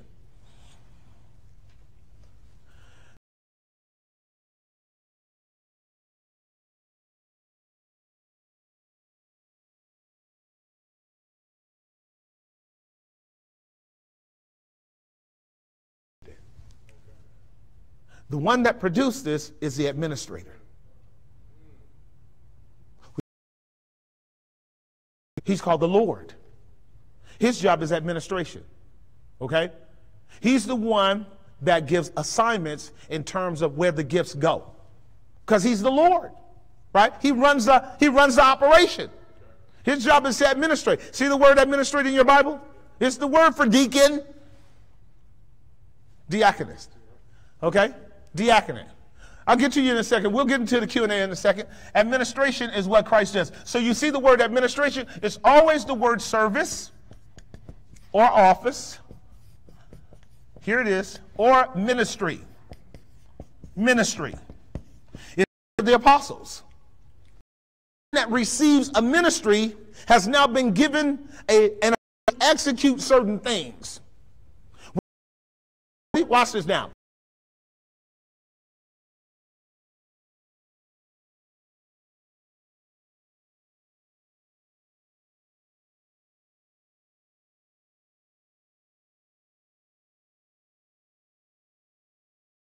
members of the gifts that come through the ministry. The Lord is the gifts unto men.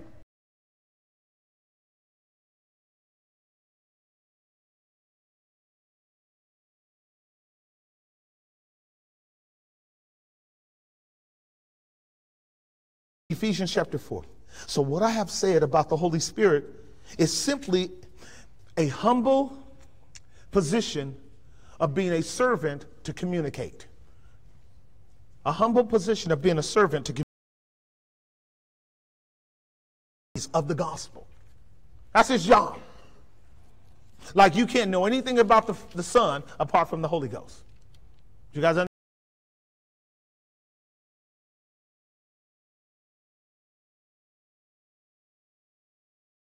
Communicates to men the gifts that Christ gives to the church by which the gospel is communicated. Does that follow? Ephesians chapter 4, show you something. Ephesians 4 actually lays out for us the order of chain of commands relative to the unity between the three persons and the church, the body, by which the gifts are communicated and communicated effectively. I'm going to start at verse 1 and go all the way through verse uh, 11. Can I do that? Here it is. That you walk what? Worthy of the vocation wherewith you are called, with all lowliness and meekness, with long suffering. Unity of the what? In the of God, in the body of Christ,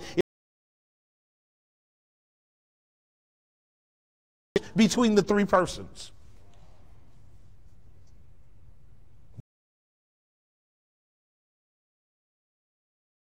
Is to the three.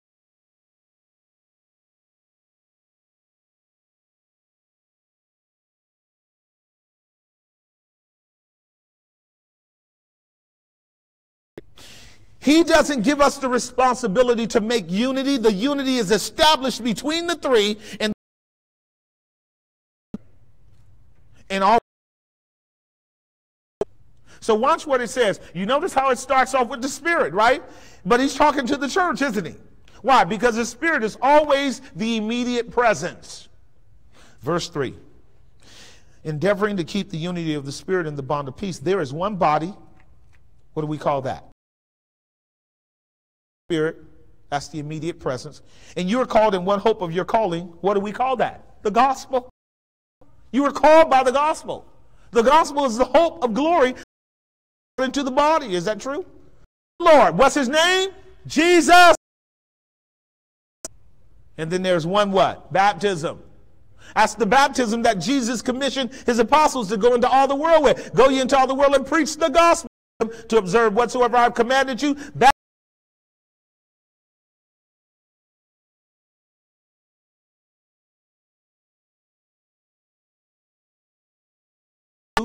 To their persons and to their operations, to the incarnate body of Christ, the extension of who Jesus is.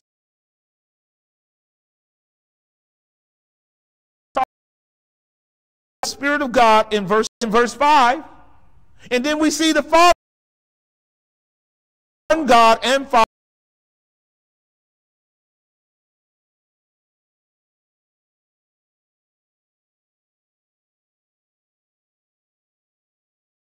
Your way. You see the parallel? You see how the Spirit, the immediate presence, is working with the body in the koinonia as a consequence of a submission to the second person, the Lord Jesus, who is the administrative authority over the church.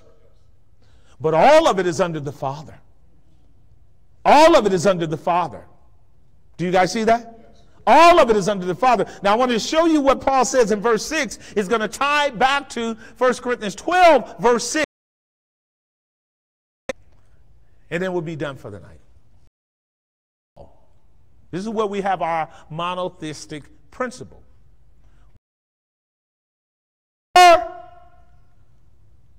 He shares his nature with his son, sharing his nature with his son and his spirit. In fact, you you can't know him, but he the Father is always, stay with me, gentlemen, recovering now biblical manhood. I'm recovering biblical manhood right here. Is that true? I'm recovering biblical manhood. I heard my brother say it um, when the men were just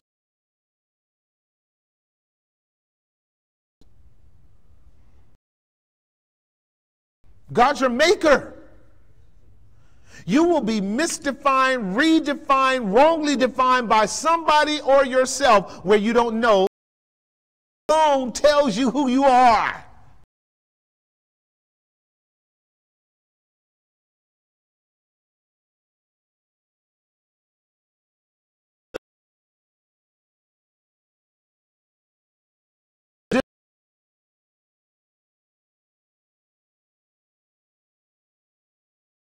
Because I trusted that God would keep you away as we worked our way up. And we're there now, aren't we?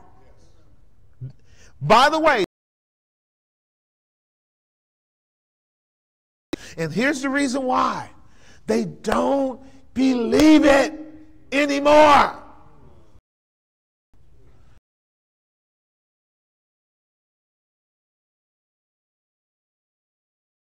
Your relationship with your wives. If you ever become real men, It'll cost your it'll cost your relationship with women. Egalitarian society that doesn't. It'll cost you. God. Did you hear what I just stated? It'll cost you women who don't know God.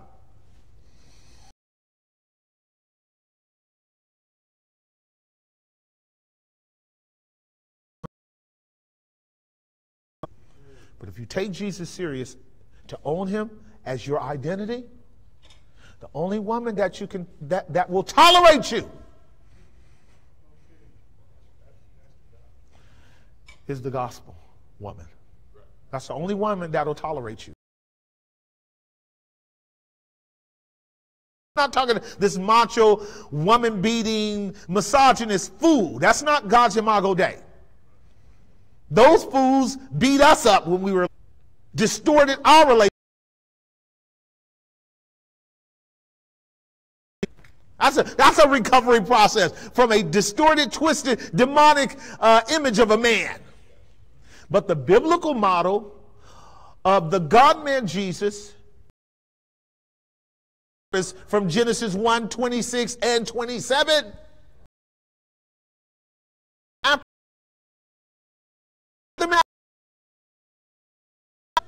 As true.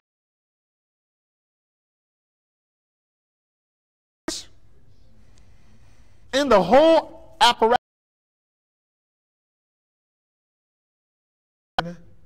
This is why biblical manhood is a lithium of our life. All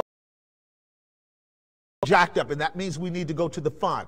And as we are called to be priests, we better go to the high priest because effectually to make us what we have. You're going to have to have Christ in your life, who is above all and through all, and what, gentlemen? In you all. So I want you to mark this because I'm getting ready to go back and then I'll close. We'll talk a little bit. There's one God, even the Father, the church. That's what we're talking about. He's the God of everything. Now watch this in verse 7. But unto every one of us is given grace according to the measure of the what? Gift of what?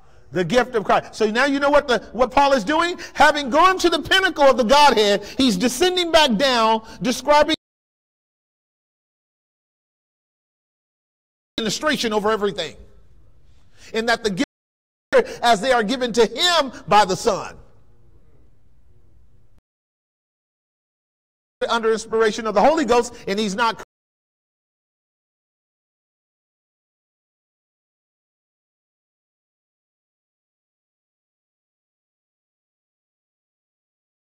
of the what I said in the beginning of the message. Verses 8 through verse 10. Is that true? Unto man. Is that the is that the judgment on the cross? Dispensation, funding of the Holy Ghost by which the gifts are given. The reason you and I are here is because of the descent and ascent. Incarnation. In reality,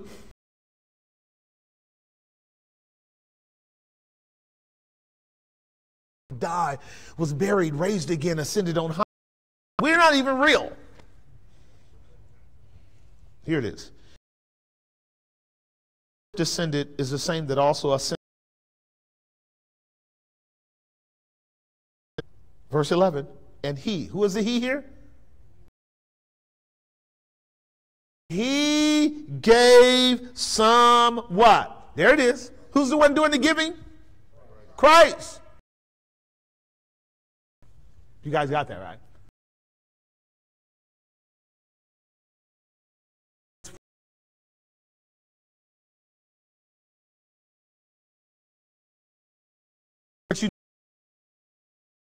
On the three persons.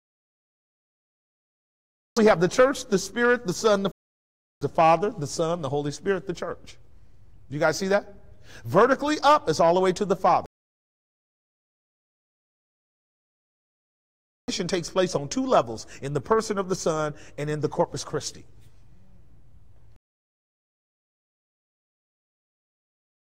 on two levels in the person of the next week guess what we're going to be dealing with to impart by the spirit the gifts that are necessary to actually manifest the same Am I making some sense? Yes. Less the work of atonement. That was exclusively his. But in terms of coming and loving God the Father, did he not love God the Father? Are we to love God the Father? In terms of living by the Spirit, did he live by the Spirit?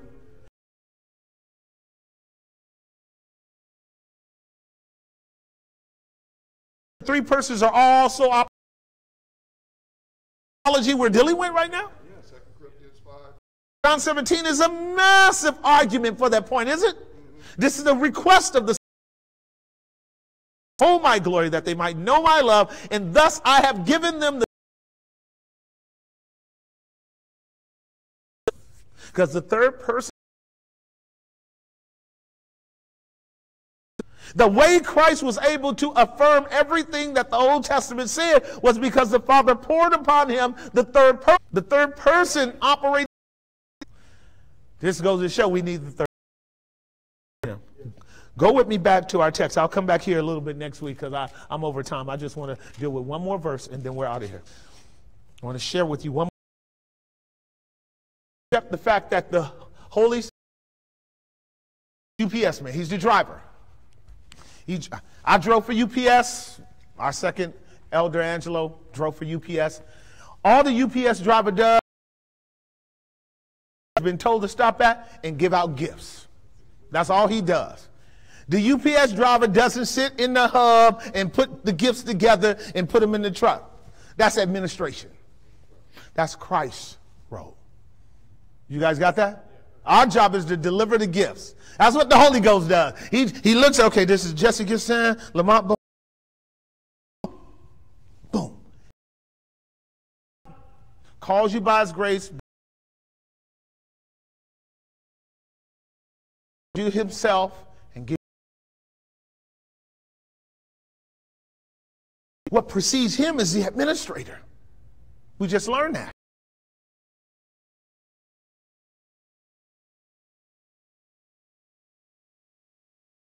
Who, who precedes him.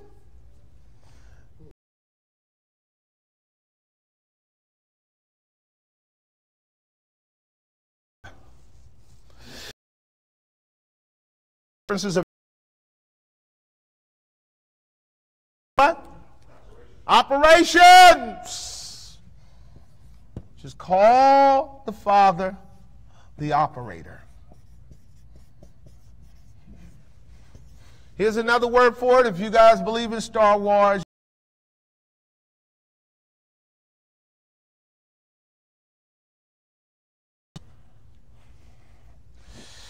You can call him the power base. You can call him the ground.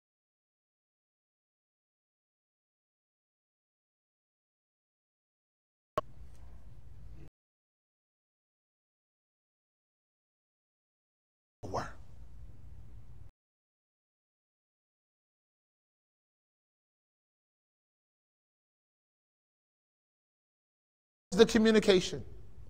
He drives the designation. He, he drives the edification. He is the energy that drives it. Are you? Drives the Son, that drives the Spirit, that drives us.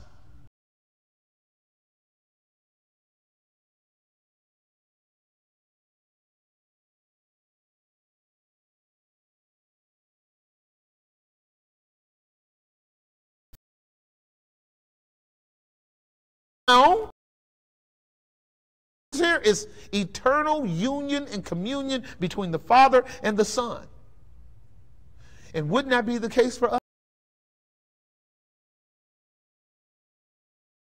Is an evidence of the union by the reality communicates the blessings of the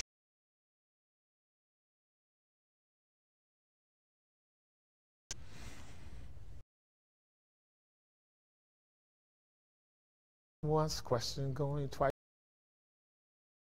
Put it for the night.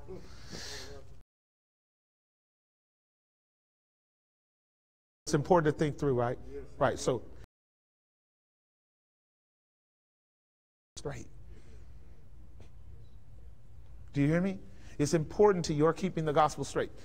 And it shows you how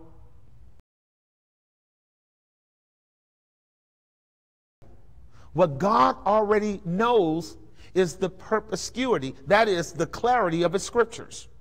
They're teaching. So you and I are reading them, but they don't have the contours and the depths and the nuances that they should have until we slow down and just look at what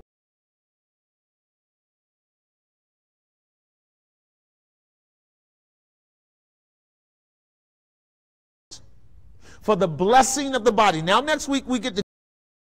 You guys understand that? And see how those nine gifts are employed for the aim of the church being able to preach and bear witness to Christ, even in the face of suffering and of death.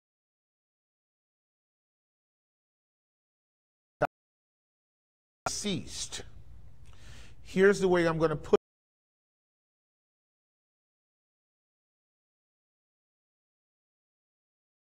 that question?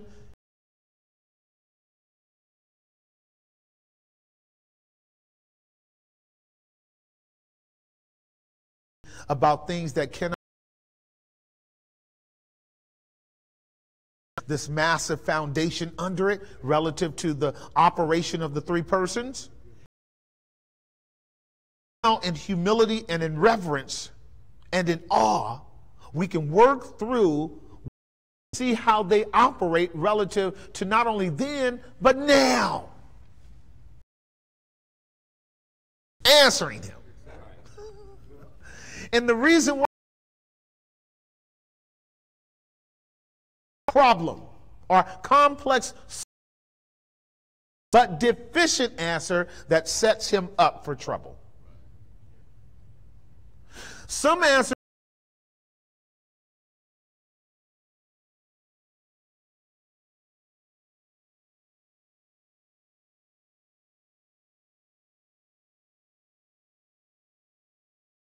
with it because we want to be able to answer that question.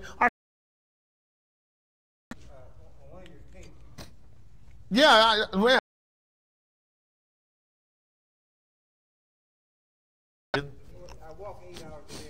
I, of course, you've been listening for years. By the way, he's a, he's a brother that's been in our church for years. He's just now getting weekends off.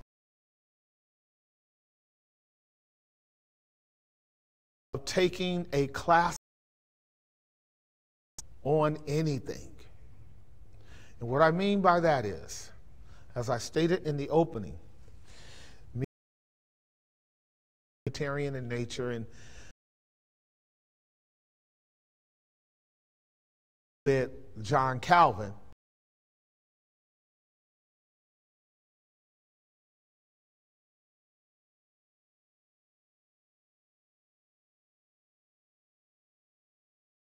they view as wrong. So you know you.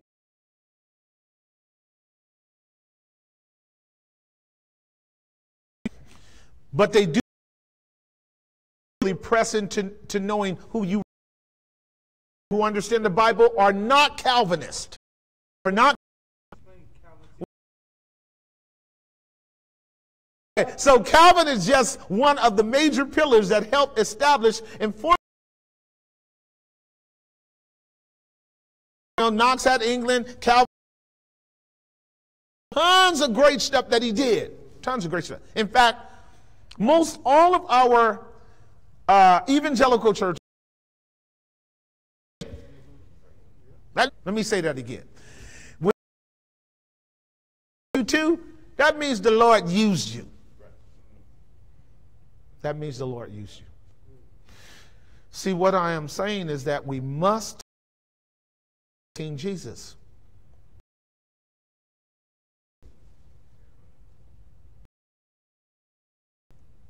Should we? Yes. And should we not also expect people to love us? Absolutely. That's the best you can get. Some love and some hate. That's Calvin. People hate Luther. Luther wouldn't have the time of day if he met me in Germany in the year 15.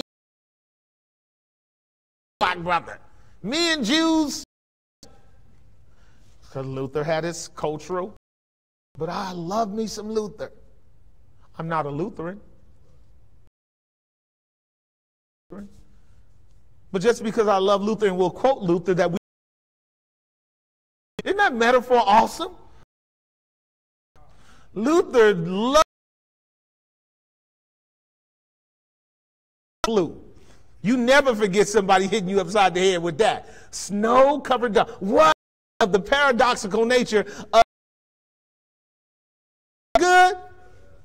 Luther got a ton of them like that. Now Calvin is dry but that's how us, how us French brothers are. We dwell in the lofty, you know, towers of intellectualism and, and, and syllogisms and, and arguments that must be consistent and all that. So Calvin is great for the nature of the fruit of the Spirit. The used him by the Spirit, communicating to him by the administration of the Son and by the power the whole French world and passed on into Europe and has passed down. Yes, indeed. He did some heavy lifting. Other men have labored, and what? We enter. We're going to dishonor those brothers. We're just not going to live in the same house. Because God made me a black man either in the culture. In heaven, we all cool. All things like Christ. Of an eclectic, diverse culture. So I'm going to leave it like that. Let's stand for.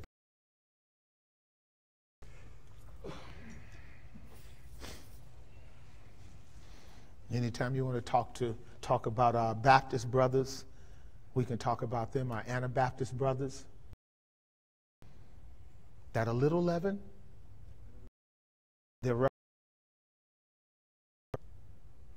to press home to them is got to be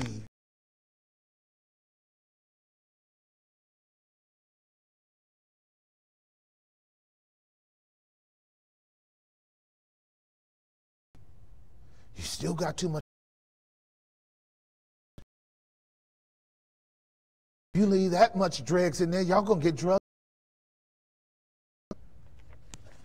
And our Baptist brethren will call in a derogatory fashion Anabaptist because they believe Christ afresh and come through. Y'all understand what I just stated? And they said, from now on, if you can't show me from the Bible, and thus infant baptism and purgatory and a ton teaching nothing like that. What do they say about the Trinity?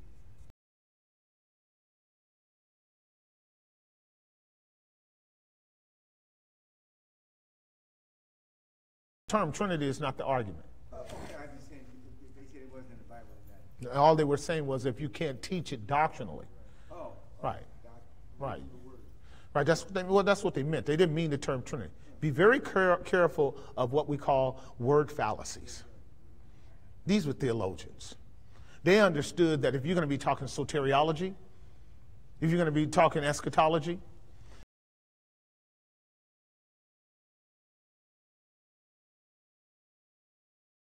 but your Bible is theology. Christ is soteriology.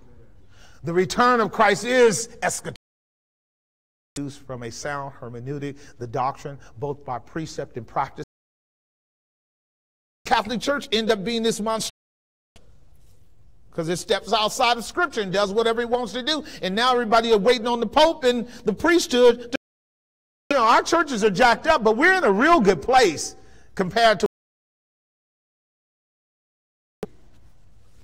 Father, thank you for my brothers that have come out tonight. Thank you for this opportunity to get into your word. As we go what we studied uh, and and uh, savor in our soul and then prepare us to worship you tomorrow. We yeah. Mr brown.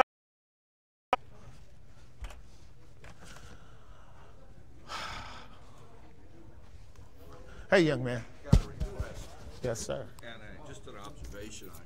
Uh, the Spirit was bringing back a, a long study years ago uh, over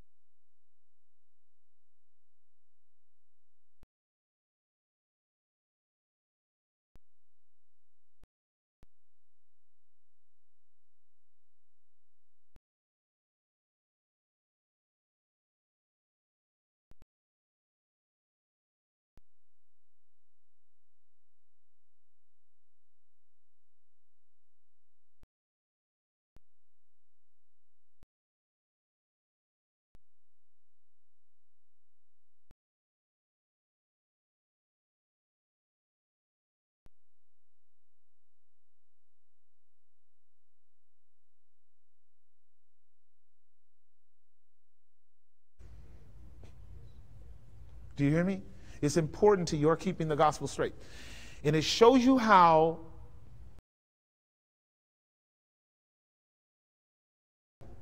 what God already knows is the perspicuity, that is, the clarity of his scriptures. They're teaching. So you're not reading them, but they don't have the contours and the depths and the nuances that they should have until we slow down and just look at what.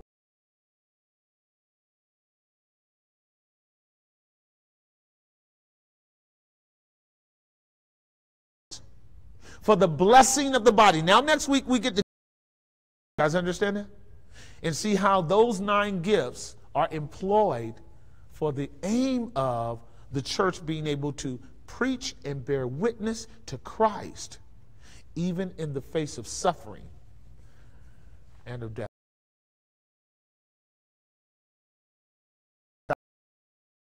Ceased.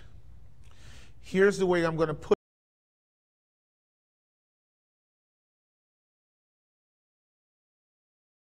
that question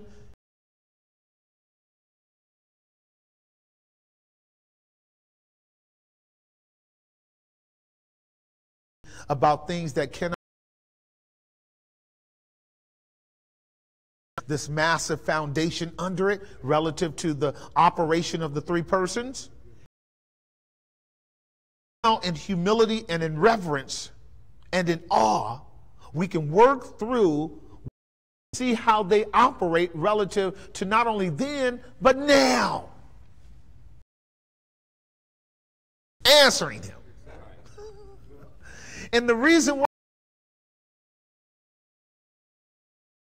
problem or complex but deficient answer that sets him up for trouble. Some answers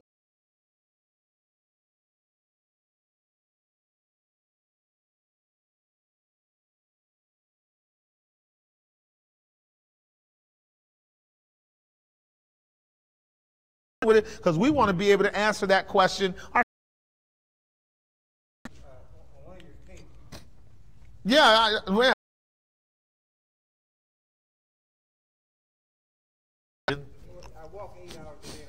I of course, you've been listening for years. By the way, he's a, he's a brother that's been in our church for years. He's just now getting weekends off.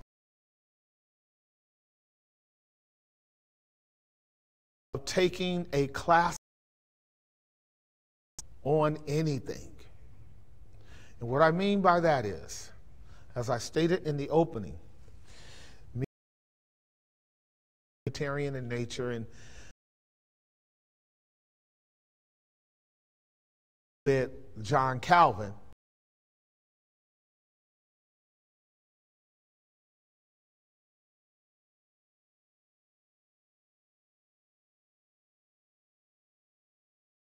they view as wrong.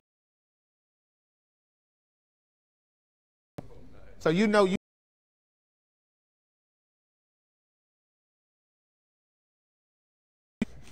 but they do really press into to knowing who you who understand the Bible are not Calvinist.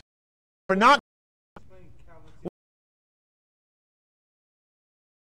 So Calvin is just one of the major pillars that helped establish and form.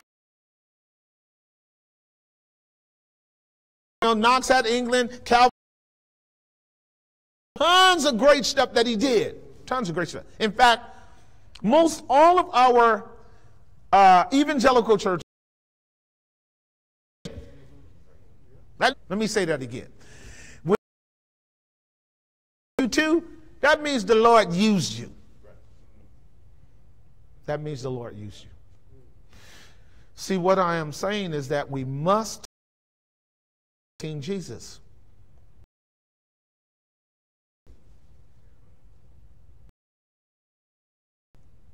Should we? Yes.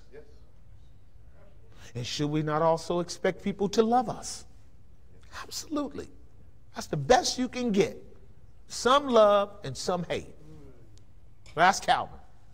People hate Luther. Luther wouldn't have the time of day if he met me in Germany in the year 15. Black brother. Me and Jews, because Luther had his cultural, but I love me some Luther. I'm not a Lutheran. But just because I love Luther and will quote Luther, that we isn't that metaphor awesome? Luther loved. You never forget somebody hitting you upside the head with that. Snow covered down. What of the paradoxical nature of good? Luther got a ton of them like that. Now, Calvin is dry, but that's how us, how us French brothers are. We dwell in the lofty, you know, towers of intellectualism and, and, and syllogisms and, and arguments that must be consistent and all that. So Calvin is great for the nature of the fruit of the Spirit. The used him by the Spirit, communicating to him by the administration of the Son and by the power the whole French world and passed on into Europe and has passed down. Yes, indeed. He did some heavy lifting. Other men have labored, and what? We enter. We're going to dishonor those brothers. We're just not going to live in the same house. Because God made me a black man. Either in the culture. In heaven, we all cool. All things like Christ. Of an eclectic, diverse culture. So I'm going to leave it like that. Let's stand for.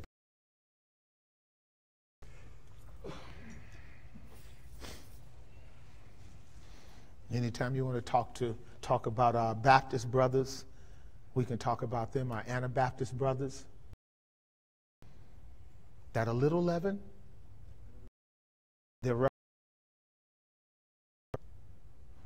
to press home to them is got to be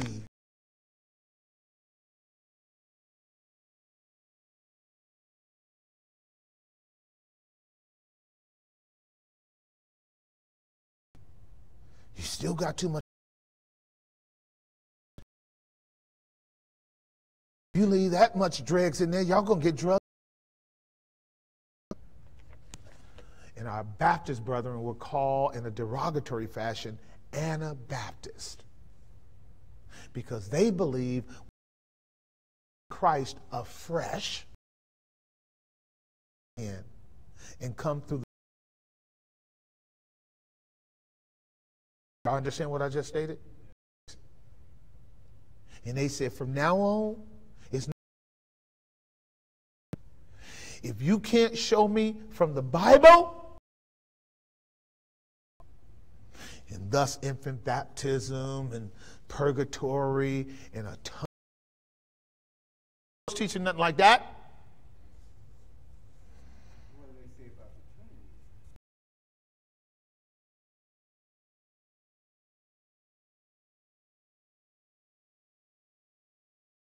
Term Trinity is not the argument. Uh, okay, I'm just saying, they they said it wasn't in the Bible and that. All they were saying was if you can't teach it doctrinally. Oh. Right. Right. Right, that's what they, well, that's what they meant. They didn't mean the term Trinity. Be very care, careful of what we call word fallacies. These were theologians. They understood that if you're going to be talking soteriology, if you're going to be talking eschatology,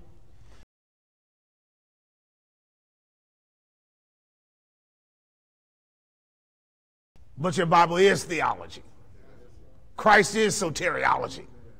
The return of Christ is eschatology from a sound hermeneutic, the doctrine, both by precept and practice.